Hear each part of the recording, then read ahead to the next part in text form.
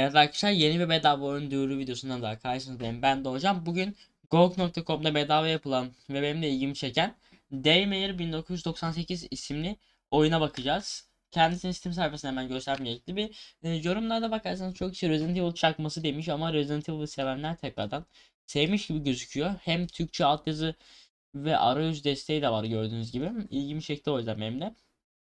Demosunu deneyebilirsiniz. Fiyatı 50 lira normal fiyatı. GOG'da biz bunu bedava alabiliriz. Son alım tarihim 2 Ocak saat akşam 5. O tarihe kadar hesabımıza ekleyebilirsiniz. İnternetten önce GOG Galaxy 2.0 indiriyoruz. İndirdikten sonra Store kısmına geliyoruz. Buradan Day- Daymare 1998 kısmı var burada. Üzerine tıklayalım ya da Add to Library diyebilirsek. Go to Giveaway diyoruz. Biz tekrar buraya atacak tabii. Niye oraya tıkladıysak. Etti. Kaybedecek. Gördüğünüz gibi e, hesabımıza eklendi diyor. İndirmek için Ovnut Games var burada. Bakın Demir burada. Evet. Buradan bu kadar. Kendinize bakın. Hoşçakalın. Bay bay.